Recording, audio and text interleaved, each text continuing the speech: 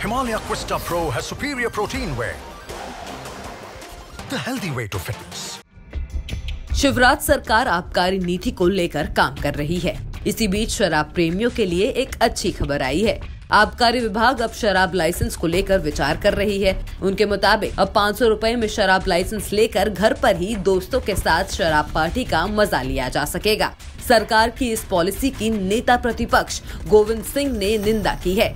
उनका कहना है कि सरकार युवाओं को नशे में धकेलना चाहती है।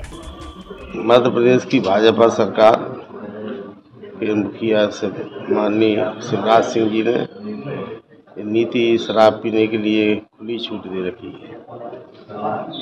नए साल के उपलक्ष्य में पाँच सौ रुपये का लाइसेंस ले जाओ और घर में बैठ के पियो, कुछ जश्न मनाओ।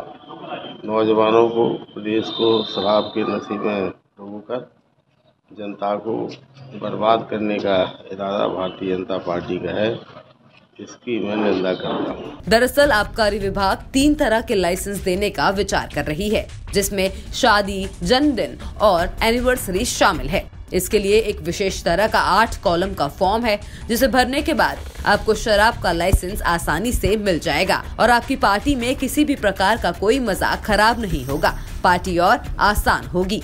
आबकारी विभाग ने लाइसेंस को अलग अलग कैटेगरी में बांट दिया है, यानी घर के लिए पाँच सौ रूपए, मैरिज गार्डन और हॉल के लिए पाँच हज़ार रूपए। तो वहीं रेस्तरा के लिए दस हज़ार में लाइसेंस मिलेगा।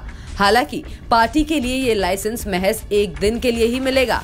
वहीं शिवराज सरकार रेवेन्यू बढ़ाने के लिए शराब पर लगाए जाने वाले टैक्स को भी बढ़ाने पर विचार कर रही है। जानकारी के अनुसार, नई शराब नीति 2023 से 24 में शराब पर लगने वाली वेट को 10 प्रतिशत से बढ़ाकर 20 प्रतिशत किया जा सकता है। ऐसा करने से सरकार के पास अतिरिक्त आमदनी हो पाएगी। भोपाल से इजहार हसन खान की रिपोर्ट, एमपी तक।